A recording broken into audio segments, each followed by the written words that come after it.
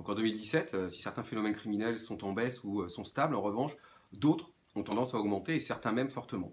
Ainsi, on note par exemple une, très forte hausse des cambriolages euh, qui atteignent le niveau le plus élevé euh, depuis 2006.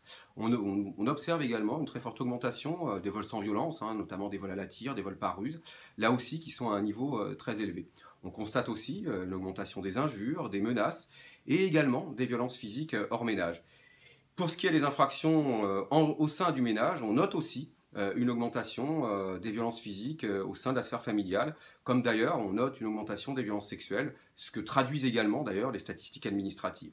Ces augmentations vont de pair aussi avec une augmentation du sentiment d'insécurité dans le quartier ou au domicile qui augmente d'un point et qui atteint son niveau là aussi le plus élevé depuis 2006.